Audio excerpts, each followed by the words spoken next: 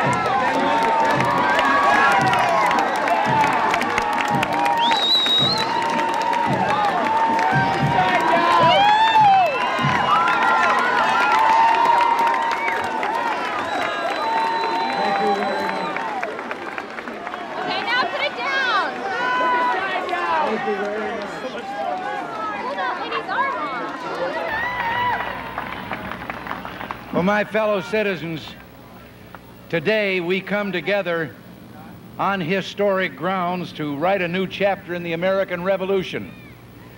We represent men and women of different faiths, backgrounds, and political parties from every region of our country.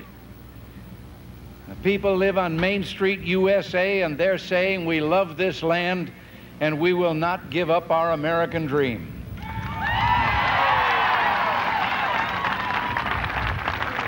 But for too long, for too long, their voices have been ignored. But no army on earth can stop an idea whose time has come, and our time is now.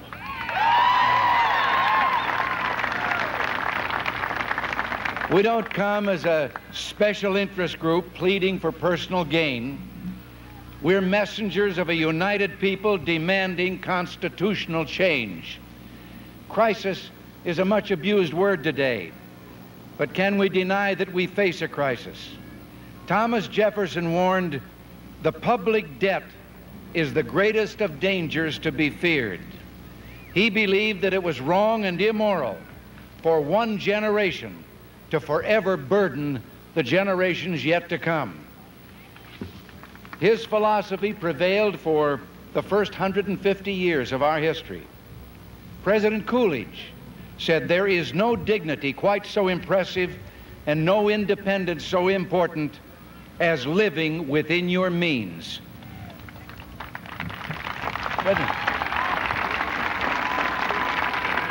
But, then, then, without quite knowing how it happened, we began surrendering to a siren song that was called the New Economics.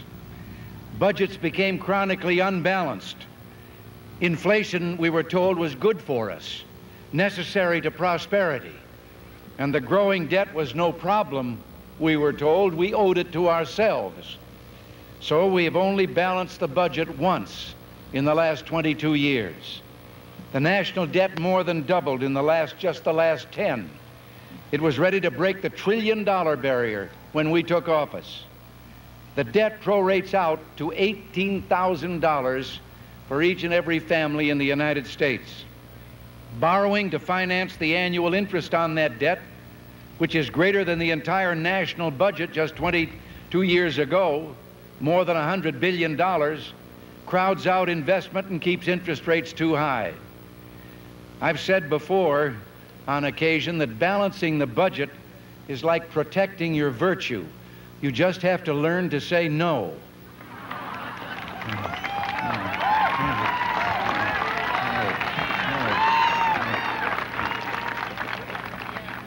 Since 1960, federal spending has increased nearly 700%. That's much faster than our ability to pay for it. This spending was excused in the name of fairness and compassion.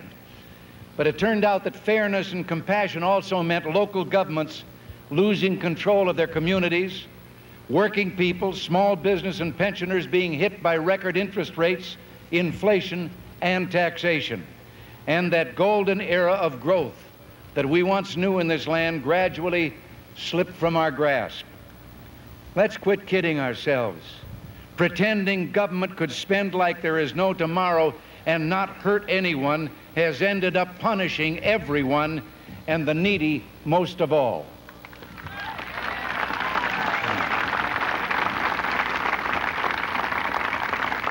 While we were doing all this, did we forget the function of government is not to confer happiness upon us? The Declaration of Independence does not say life, liberty, and happiness. It says life, liberty, and the pursuit of happiness. There's some things that are left to us to do. Now, these are not Republican or Democratic principles. They're American principles as important today as they were 200 years ago when our ancestors were fighting a revolution so that we could be free to work out happiness for ourselves. Families stand at the center of society. They're the vanguards of America's future. Yet how can families and family values flourish when big government with its power to tax, inflate, and regulate has absorbed their wealth usurped their rights, and too often crushed their spirit. This nation's greatest transfer program is not welfare, it's the annual turnover of you and your neighbor's income to Uncle Sam. Runaway, runaway government threatens our economic survival, our most cherished institutions, and the very preservation of freedom itself. The people have had it. The people are saying enough. Our,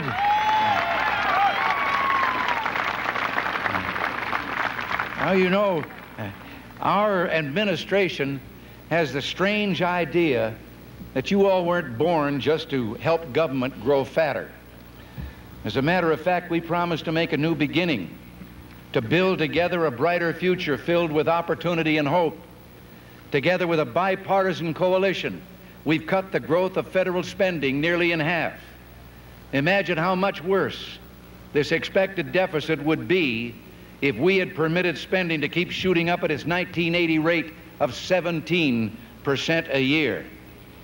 Another of our ideas was a reform that I'm mighty proud of an historic program of incentives for savings and investment with a 25% personal tax rate reduction for every American who pays taxes.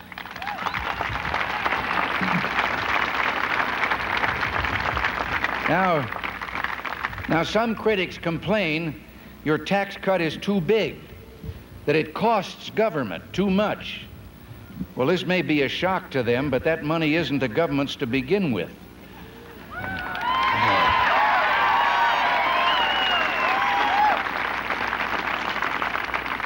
It belongs to you, the people who earn it, and it's about time you were allowed to keep a bigger share of your own earnings.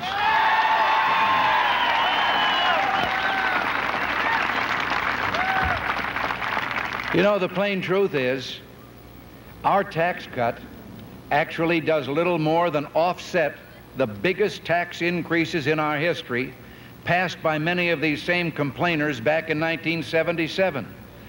We didn't get that trillion dollar debt because you're not taxed enough. We got that debt because government has spent too much.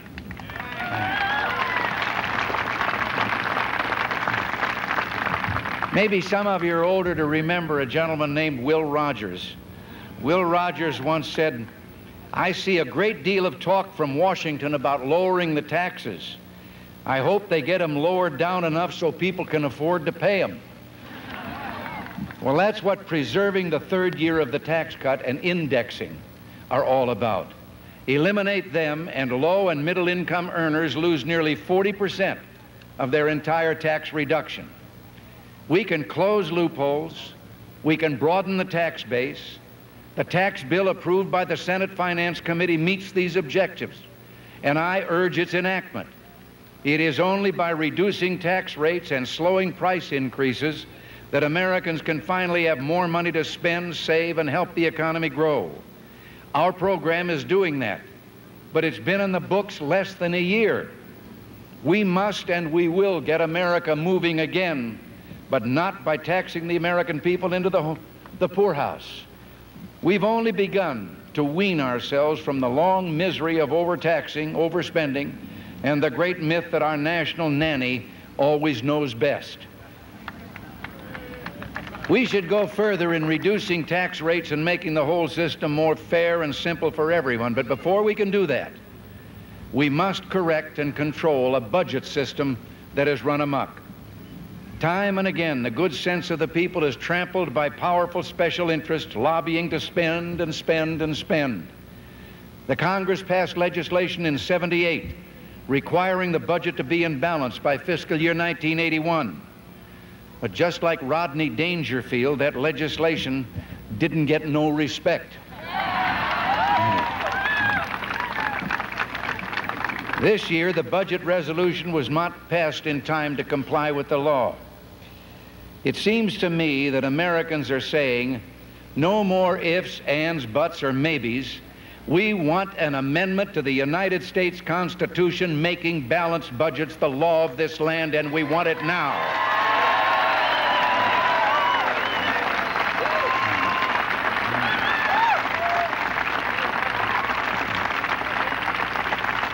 Now, of course, we have to recognize all balanced budgets aren't created equal.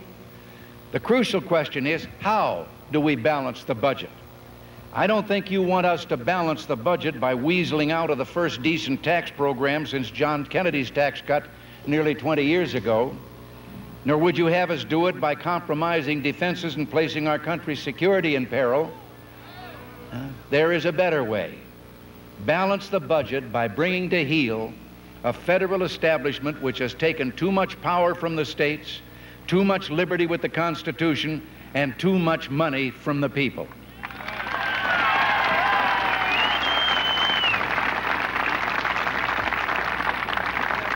There are now two resolutions pending, one in the House and one in the Senate, which enjoy strong support and which would lead to a constitutional amendment requiring a balanced budget. They would require the Congress to adopt a balanced statement of taxes and spending each year the growth in tax revenues could not exceed the prior year's growth in national income. This would be a limitation against reaching a balanced budget by simply sending the taxpayers a bill for whatever the deficit might be. The Congress would have to make tough choices to control so-called uncontrollables. And believe me, that's what this skeptical country is waiting to see. The public could see who's hiding behind the rhetoric of balanced budgets. At the same time, they're unwilling to make the cuts in spending to bring them about. Now, this doesn't mean, as some contend, that the Congress would be bound by a fiscal straitjacket, never able to plan a deficit. It could do so by going on record with a 60% vote of the full membership of both houses. This would be an important discipline. Once approved by the Congress, the amendment will have to be ratified by three-fourths of the states. It would then take effect for the second fiscal year beginning after its ratification. But ratification itself will produce an immediate impact. From that moment on, the watchword to Washington will be start shaping up, or you may be shipping out.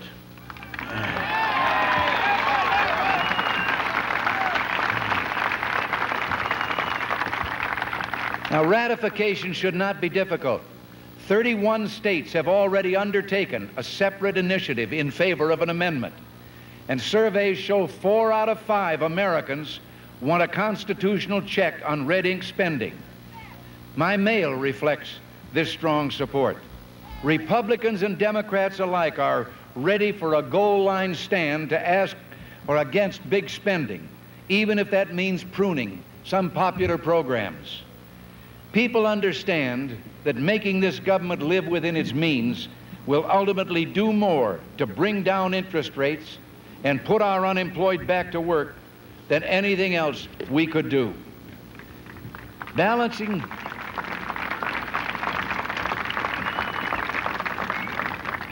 Balancing the federal budget will also bring lasting benefits to state and local governments. Once the federal government can no longer preempt state and local revenues, then those governments closest to the people can better fulfill their mission and vision for the founding fathers. They can become the true laboratories of democracy in the United States. I'm honored that leaders of the drive for passage of the constitutional amendment in the Congress Senate Majority Leader Howard Baker, Senators Thurmond, Hatch, Helms, and DeConcini, Representatives Michael, Conable, and Jenkins, together with so many of their colleagues, are with us here today. These members of the Congress are supportive of this amendment.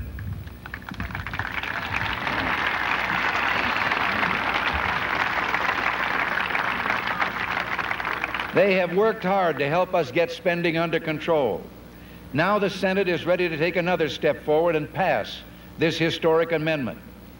I'm encouraged by the spirit of solidarity of the 65 responsible Democrats in the House and 17 in the Senate who are co-sponsoring this amendment.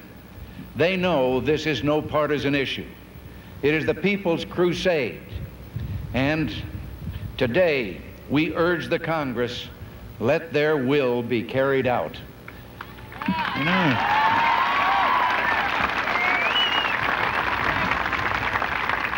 You know, now there are some say that it is dangerous to push for dramatic reform in a period of crisis. Well, I believe it's more dangerous not to. We may always have a crisis of one kind or another. We may not always have another opportunity. Others insist that a constitution should not embody economic theory. Well, I got news for them. A wise and frugal government which does not take from the mouth of labor the bread it has earned is not economic theory. The integrity to stand for sound money, an end to deficit spending, and eventual retirement of the national debt is not economic theory. Those principles are the very heart of a tried and proven system, our system, the system which created the greatest outpouring of wealth in all history and distributed that wealth more widely among the people than anywhere else in the world.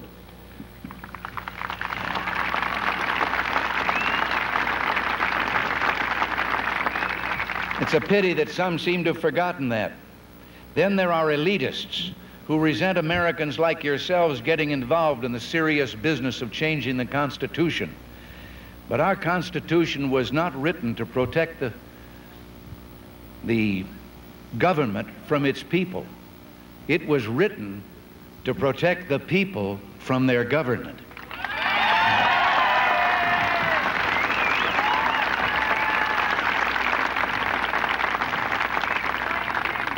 I've told on several occasions, you know, there are a lot of constitutions in the world. Haven't read all of them, but read a lot of them. And what is the great difference that makes ours so unique? In most all of those other constitutions, it says, we the government permit the people the following things. They can do this or that. Ours says, we the people permit the government to do the following things and no others.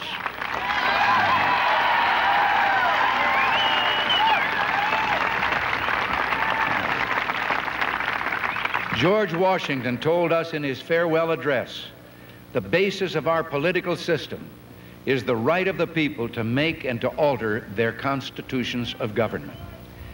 It's been said that nothing will ruin a country if the people themselves undertake its safety, and nothing can save it if they leave that safety in any hands but their own. Fellow citizens, isn't it time to put the safety of our beloved country back into your hands where it belongs?